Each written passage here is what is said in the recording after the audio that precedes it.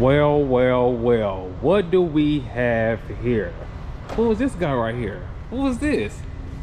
Let's check it out. Let's check it out. Let's check it out. Let's check it out. Let's check it out. Well, well, well. What do you know? A ramp is in here, a tool bag, and a cover. What do you know? It's DK and I'm back today with another video. Put me in a big screen video. If you are not subscribed, make sure you smash the subscribe button. Also, give me a thumbs up. Guess what? Y'all see what's behind me, baby? yeah, we back we back with smoke and we laugh to the bank like it's a joke. Now, today we're gonna cover a lot of things. You guys are gonna hear every single conversation we had with the dealership. We're also gonna tell you guys what was wrong with the van, as well as we're also gonna address them comments, baby. I told you. It's game time. Let's get into it. For those of you that are new to the channel and you have no idea what's going on, I'm gonna give you guys the backstory. In 2022, December 31st, we bought this brand new van. It has six miles on it. It's a 2022 Mercedes Sprinter van, 2500, 170 wheelbase with the high roof. And if you don't know by now, I'm the truth. So let's go ahead and get into it. So we got the van, everything cool with the van. We was doing orders, everything was cool. Then after a while, we started hearing this like this rattling noise, like. I don't know what it is. It was like under the van somewhere. I don't know exactly what it was, but they they could not duplicate the problem at the dealership. Also, we had other little problems like the heat was smelling, I mean, the AC was smelling weird sometimes. Come to find out, we needed a cabin filter. I ain't know nothing about that. So, those are like some small things. It was just little things here and there. So we always made sure that we let the dealership know everything that was going on with the van every time we took it to get an oil change. Mind you, we got an oil change earlier than we were supposed to. We wasn't we wasn't getting it like every uh, 15,000 miles. We first started off with 13,000 miles and then we went from there. So we always made sure we kept the oil change, we kept the right gas, everything, everything right with the van. And we also made sure that the dealership documented every single thing that we said that was wrong with the van.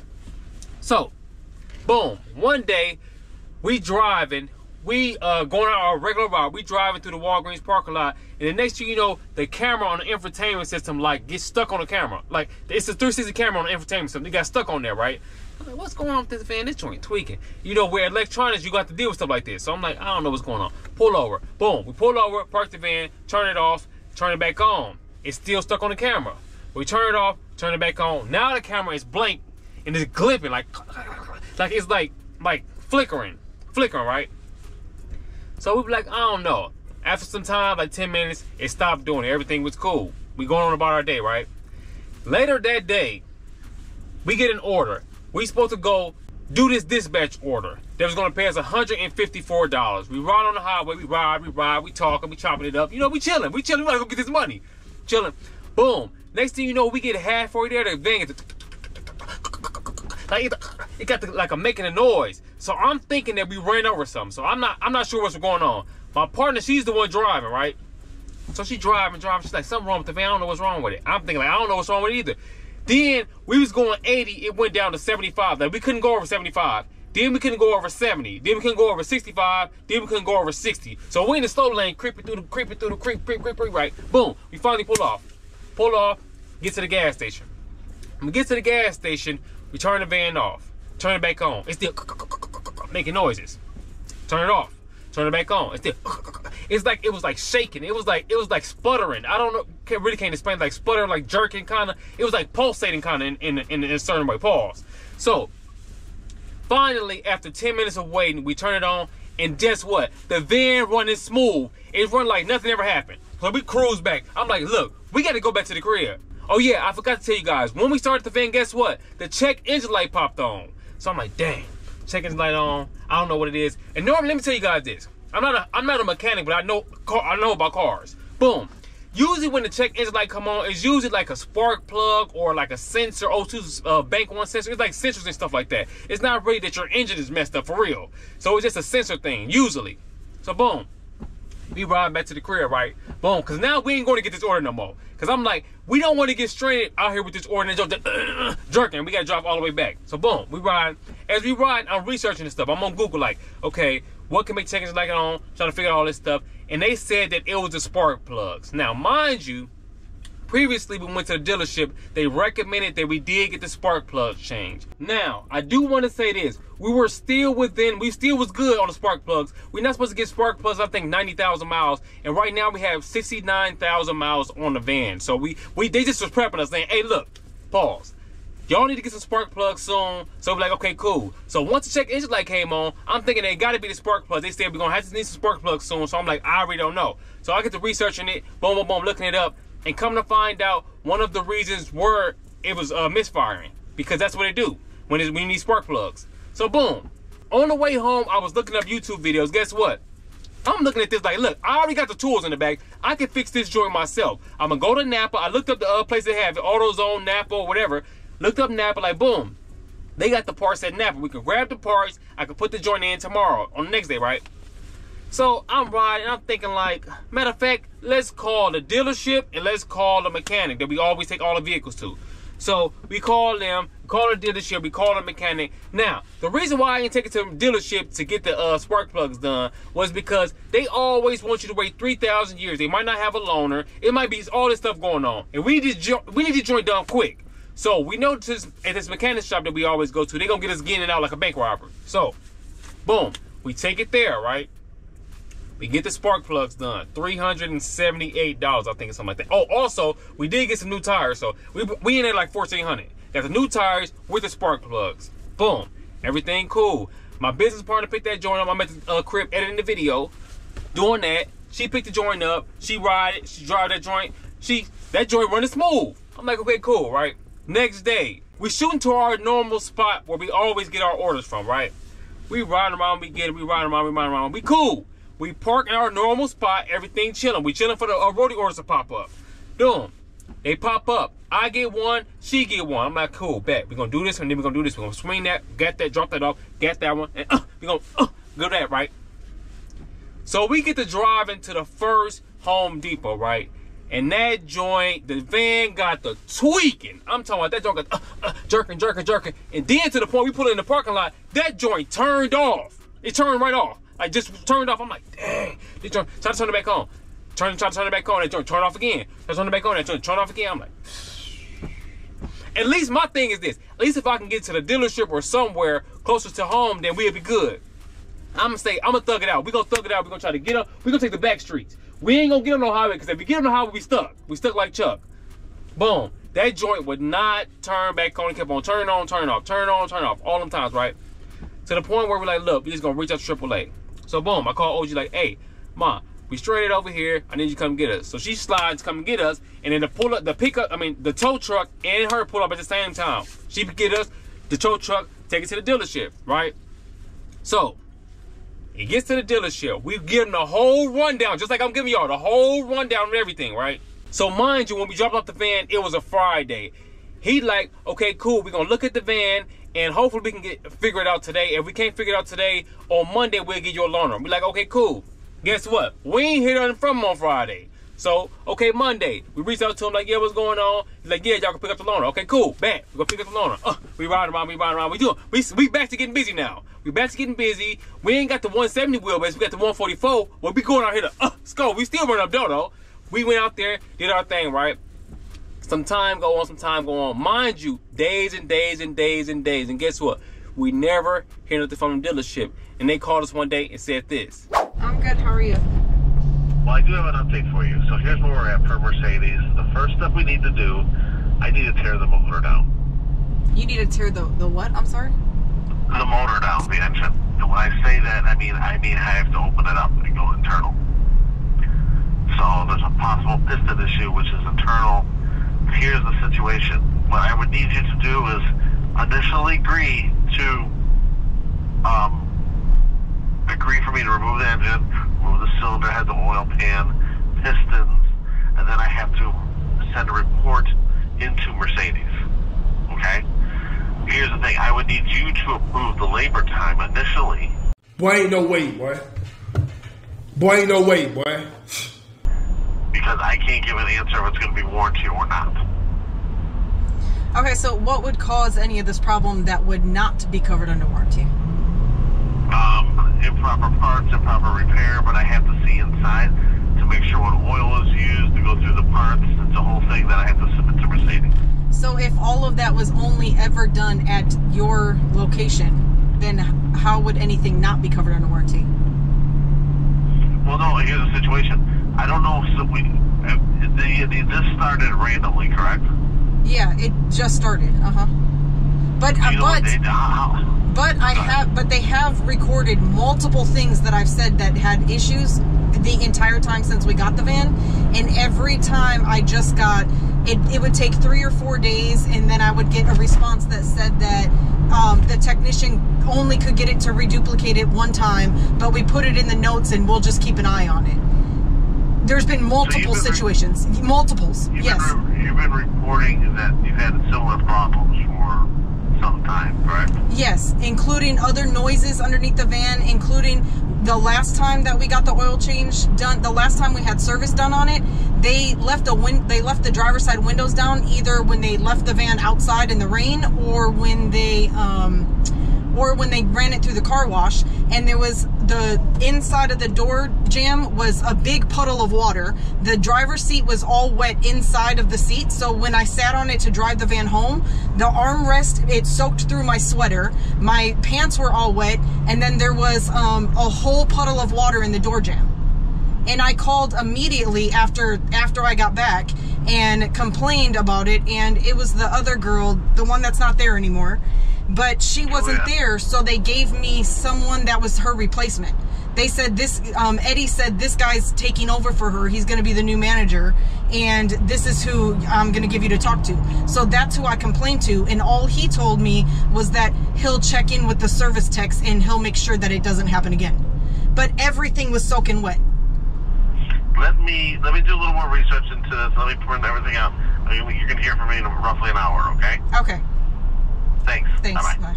Bye. Now, you guys just heard the conversation. The first time, y'all didn't get the full conversation. I only gave y'all a little glimpse. And guess what? Why would I give y'all a little glimpse? Everybody was, no, I ain't gonna say everybody. There were some people in the comment section talking that gang, talking crazy, talking that robot. So make sure you stay tuned to the full video, because I'm gonna address all y'all. And I'm putting the, uh, the, the, uh, the comment right on the screen. We ain't about to play no games, but to do our thing. This is the second conversation we caught the second time. Hi, this is Daniel Whisperer. Yeah. Quick question for you. What type of fuel do you use? Do you use the premium? We we use mostly the 87. We only use 87. No, mostly this Oh, all 87. He said oh, he only pumps 87. Okay, so I gotta do some more. Give me about an hour. I'm going through everything because I see at 28,000 miles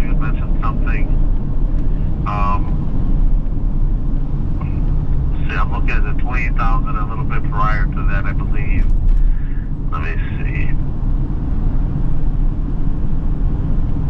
And then 11,000 here in 23. You mentioned just like a pinging list.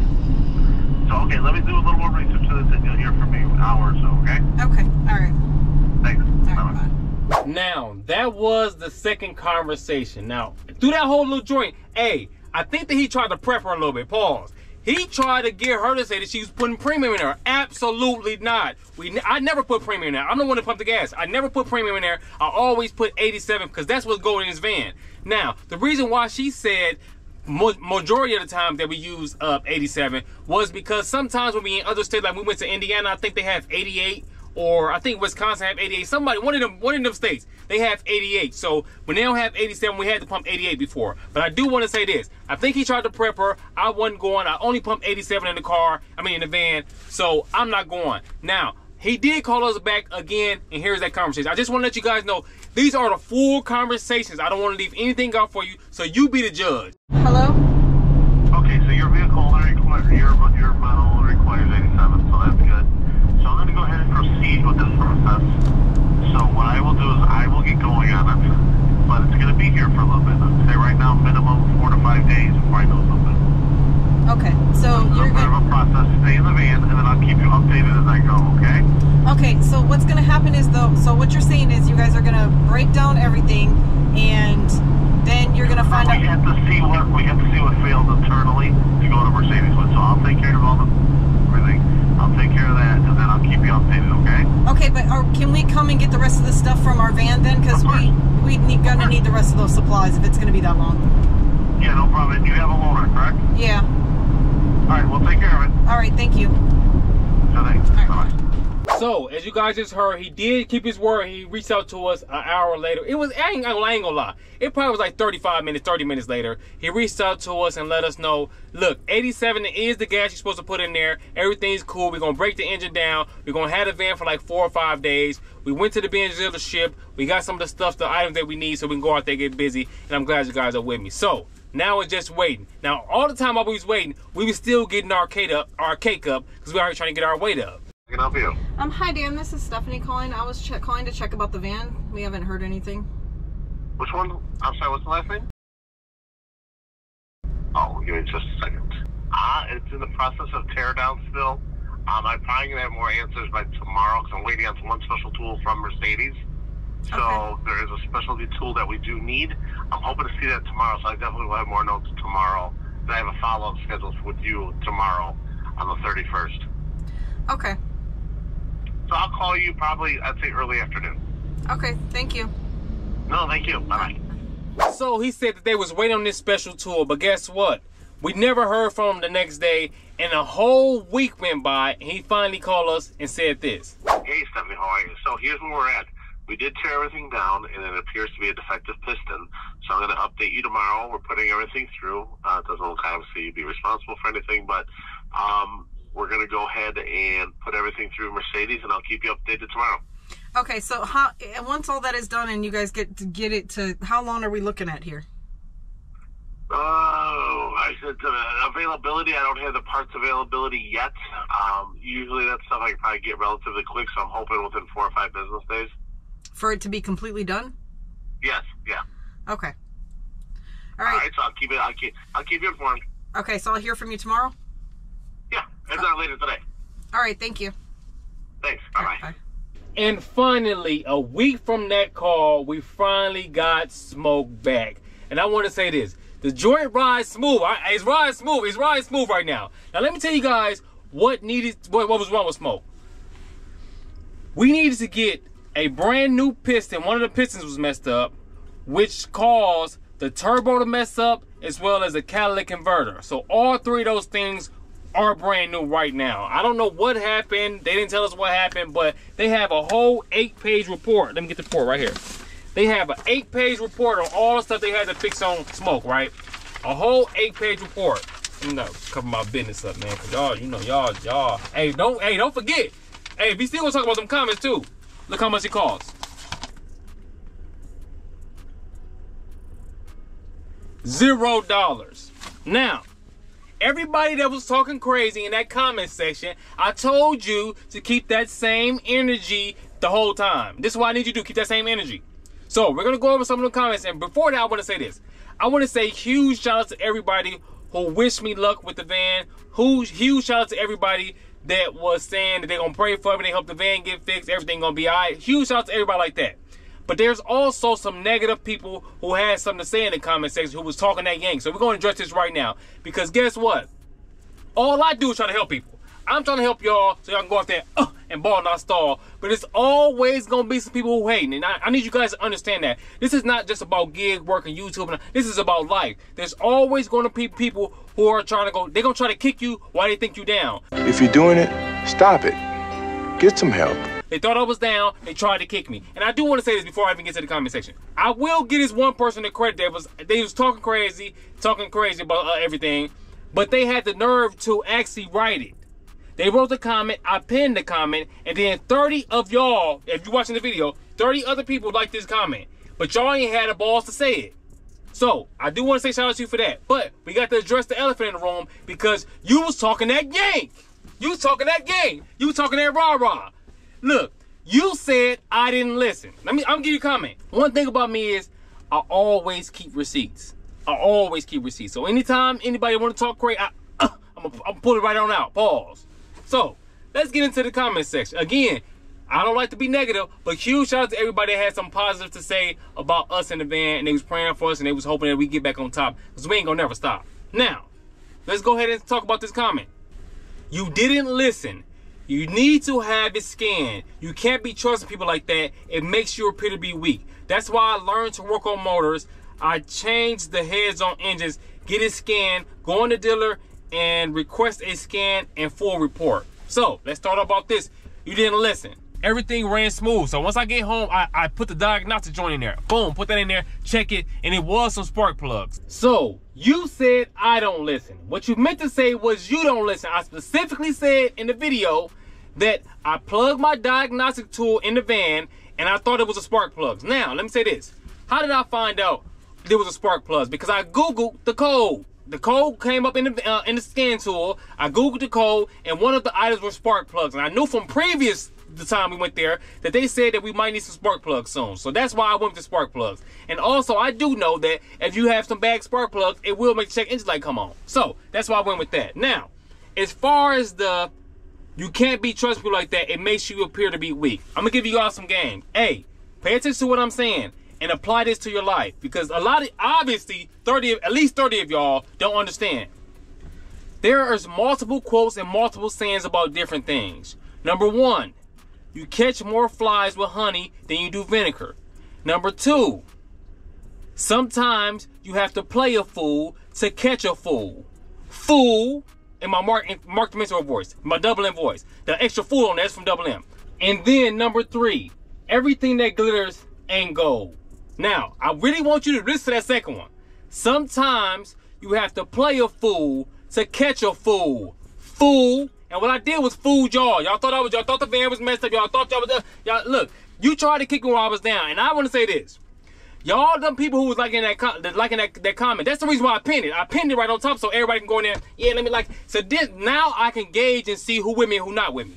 I'm giving y'all some games, some free game right now. I should make y'all pay for it. Pause. I gave y'all some free game. I want to see how many people agree with this. How many, uh, how many other people feel like this? So I can gauge who with me and who is not with me. And obviously, some of y'all are not with me. And that's cool. Because guess what? It is what it is. I ain't complaining. I'm maintaining getting this change. Now, we to get into the other comments that comment on the video, uh, a comment on that video under that person's comment. We got John Williams. John Williams commented a lot. Hey, he don't listen. I already tried to help. I'm done. John, let me say this. How many times have I asked for your help? D- just let me know. Let me know how many times I tried to I asked for your help. Next one. They can see them coming a mile away. No, they can see you coming from a mile away, not me. Them, you must be part of them. Cause I'm not. I ain't never been a fool. I always stayed in school. Next one. He's going to learn. Hey, S S C. Man, you be coming C's up and all that. He's going to learn the hard way. Unfortunately, dealership will take him up top. No, dealerships will take you up top. A lot of times, these comments that people, these negative comments that people say, not all of them are, are, are negative though. Some people just saying how they feel. That's cool too. But speak for yourself. Don't talk for me. Don't speak for me. I speak for me. You speak for you. Now, let's get into some more. Too busy making YouTube videos to earn dollars. Listen to your comments. If I was listening to my comments, I'd be a fool just like you. You just fell for the okey doke. He just sent you right off. See, y'all, look, look, look, look. This is this is deeper than just a, a, a YouTube video. This is deeper than just a comment. This is a part of life. Don't let nobody send you off. This type of people some people is, right? It'll be this person in school that's a bully. And don't nobody like this person. They can't stand them, right? Everybody, everybody's scared to fight him though, because they already know he, he didn't beat up a couple people already. Or he or she, they beat up a couple people already. So they scared. Everybody terrified. And it takes this one new dude or new girl to come into school and they from another place and y'all from another place and they ain't going. For them to steal on the bully, knock them down, and then that's when the rest of y'all 30 people who, who like the video, like that uh, comment, they get to hurry up, get their little legs in. Yeah, I can't wait somebody. Now you want to hurry up and get your legs in. Let's get back to what I'm saying. Now, the next one said, you will be a fool. The next one said, you will be a fool to trust what the dealership says to you. They are clearly trying to get out of the warranty coverage. I, look, I already peeped the play. Shout out to you. I already peeped the play. I would have been a fool to win for that. Now, let me get to another comment. Another comment is this. Somebody said, the same person who said this first comment that I told you that everybody liked and all that, they said that they think that the, the van and my girl name, my partner name, and all this stuff. I want to tell you this right now, and then I'm in this video. I told y'all keep receipts, right? How about this? We gonna bet five thousand each. I my five thousand, it gets your five thousand, right? This is what we gonna do. Because you calling me, you calling my bluff, and I and I, look, I don't bluff. You calling my bluff, right? My guy Double M, I'll reach out to him, ask him, can we go on the smoke show? He got a thing called the smoke show where anybody who wants to smoke, they can come on. Now, what you gonna do is you gonna email me at romeshouseofviews at gmail.com. you gonna tell me you want the smoke. We gonna send the 5,000 to Mark. He gonna send, you gonna send your five, I'm gonna send my five. And then you gonna come up there and mind you, the one thing about Double M is you gotta show your face. Pause. When you when you come up there, you can't be hiding behind no computer screens and, and got it dark in the back. No, no, no, no. We want to see how you looking when I take your money. We want to see how you looking when we bet this five thousand. So we're gonna send the five thousand to escrow, and then you gonna ask me and call whatever bluff you want to call, and then I'm gonna prove you wrong. And then what I'm gonna do after that, right? I'm gonna take your five thousand, and then I'm gonna put it in one of these uh these crypto coins. Maybe one or two or three. I don't know. I don't, I don't, I don't know which one it's gonna be. I'm gonna put it in one of them coins or some of them coins. And then what that's gonna do is that's gonna accumulate over time. And then by this time next year, I already might oh my god double in my Rolex already. So I'm gonna take your 5,000, I'm gonna let that build up, and then gonna buy his Rolex with your money. And then the rest of the money, if it's some more left, I'm gonna give it to the subscribers since you wanna play. That's all I gotta say. I hope you guys enjoyed this video. Make sure you lock in tomorrow. It's going back down because we ain't playing around. Because all 2024, all we doing the pull up to, uh, let's go. But guess what? We gotta go. I'll see you guys on the next one. We going, we going, we flowing. You already know it. It's EDK and I'm on my way.